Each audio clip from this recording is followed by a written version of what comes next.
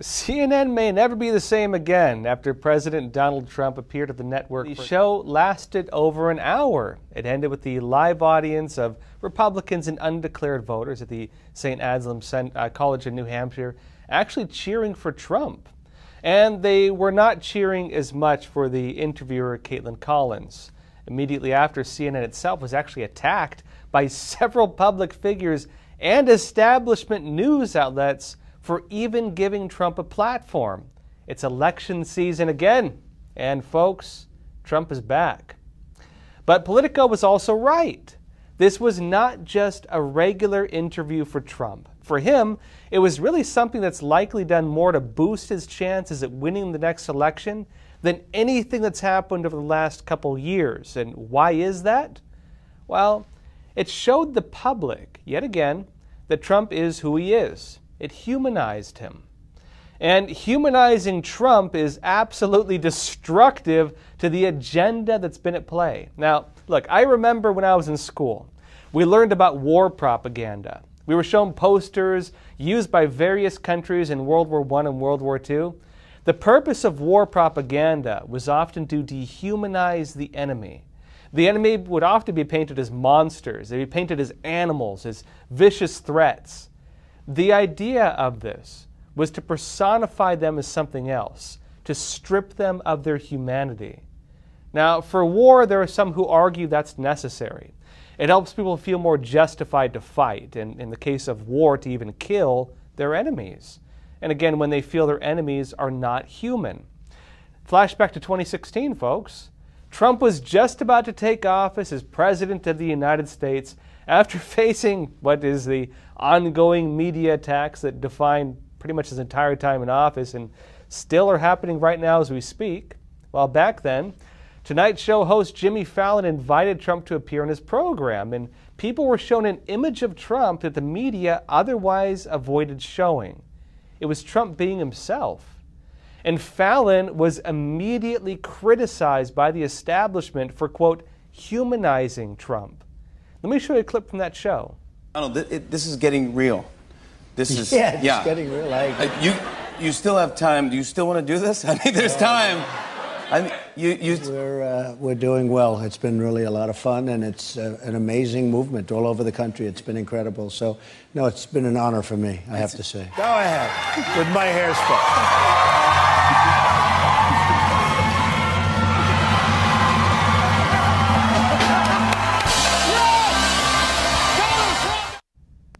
That clip, folks, the New York Times made that into a scandal.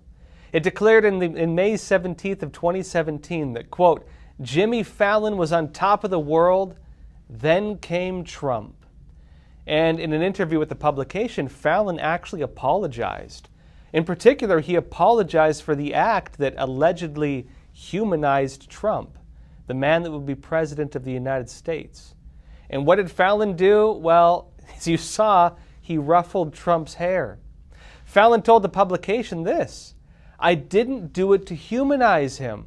I almost did it to minimize him. I didn't think it would be a compliment. Now, folks, why would it be wrong to compliment Trump? What's wrong with ruffling someone's hair? What's wrong with making someone look like a human being? Well, what's wrong with that is it's damaging to the propaganda that's designed to do the exact opposite to dehumanize someone to strip them of their humanity, and to make it appear that it's justified to hate them. Now, back to that war propaganda. Take Japan as an example. During World War II, they were an Axis power. Propaganda painted them as monsters, and the dehumanization of them was even used to justify the use of nuclear weapons.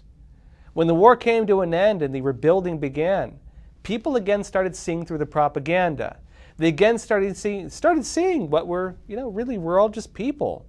For Japan, it was mainly entertainment and movies that began to change things. In fact, one of my favorite directors, Akira Kurosawa, he was applauded as having played a strong role in that.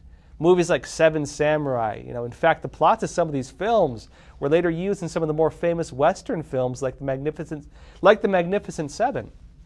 And folks, people were able to see that maybe we're not so different. You know, maybe we're all just human. And back to the recent town hall with Trump. It appears that this is again back just like 2016 and 2017. CNN is being criticized for doing that. Well, that and the fact that Trump is yet again stating things that the establishment narrative doesn't like. It's the argument of disinformation and on what we should or should not be allowed to say on TV. Representative Ocasio Cortez reacted to the, town, to the town hall on Twitter, and she stated that CNN should be ashamed of themselves. They have lost total control of this town hall to again be manipulated into platform election disinformation, defenses of January 6th, and a public attack on a sexual abuse victim. The audience is cheering him on and laughing at the host. So, what should CNN be ashamed of? Ashamed, really, for interviewing the leading presidential candidate for the Republicans? When has it ever been considered controversial to interview a leading political candidate? Now, last I checked, we're still living in a constitutional republic. We still have an election system. That election system lets people like us choose who they vote for, to choose their leaders. And how is it irresponsible to give one of the leading candidates for that a voice? The reality is that what used to be considered normal is now called abnormal. What was once considered abnormal is being pushed as the new normal. And in a very subtle, not so subtle way, the establishment has acknowledged something important they've been running a very focused propaganda campaign. And folks, that propaganda campaign is once again failing. Let me show you a few clips of how that, how that event went. The Constitution says that we're supposed to have legal and well maintained and well looked at elections, and we didn't have that. I cherish our Constitution, but we have to live up to the Constitution. We weren't living up to the Constitution. I was just saying there's no evidence of that election fraud. You did once tweet. You're supposed to say that, but you know I'm glad you say that. But look, That's that was truth, a horrible election. That was a horrible election, and unless somebody's very stupid, and I know you very well, you're not stupid at all, uh, but you perhaps are given an agenda or you have an agenda. Look, we have to have honest elections in our country. Now, that interviewer kept trying to press Trump, claiming the election was not stolen, and Trump continued by listing what took place in various states on the many irregularities and bad practices that were seen. They then jumped to a question, and here's how that went. Will you suspend polarizing talk of election fraud during your run for president? Yeah, unless I see election fraud. If I see election fraud, I think I have an obligation to say it. And you know what we went through uh, a short while ago has really put our country in a big problem. Uh, I hope to do that. I hope we're going to have very honest elections. Uh, we should have voter ID. We should have one day elections. We should have paper ballots instead of these mail in votes. But uh, the answer is yes, and I hope that it's going to be very straight up because if it's going to be straight up, we're going to win the election. So you Thank will suspend talk to his question about the 2020 election on the campaign well, trail? I guess uh, we're going to just win. We're at a point now. We're getting so close. Let's just win it again and straighten out our country. One other question on this. Now, as that interview went on, they actually touched on many, really mainly on the controversies with Trump. They went story by story through the scandals and the charges and the allegations. And Trump actually handled them in a very, let's say, Trumpian way. Take, for example, his reaction to the allegations around January 6. One of the big problems was that Nancy Pelosi, Crazy Nancy as I affectionately call her, Crazy Nancy Pelosi and the mayor of Washington were in charge, as you know, of security. And they They're did not, not do their the job. National Guard. You're They're, in charge of the National they are Guard. In, well, I offered them National Guard. I said, we'll give you soldiers, we'll give you National Guard, we'll give you whatever you want.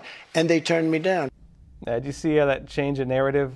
They're in charge of security. They're not in charge of the National Guard. That was what Trump was talking about. Trump was, of course, fact check on this. The interviewer accused him several times of not stating accurate information, and other news outlets also claimed he was not honest. But in reality, Trump was talking about who was in charge of security. Nancy Pelosi had some authority over the Capitol Police. Muriel Bowser had some authority over DC Metro. and neither placed proper security at the Capitol on January 6. On the note of National Guard, Trump does not have and did not have the authority to deploy the National Guard. The president only has the authority to authorize the deployment, and Trump did authorize the deployment. But that deployment was not approved by Pelosi and others in charge. As you can see, the establishment media is once again not being quite accurate.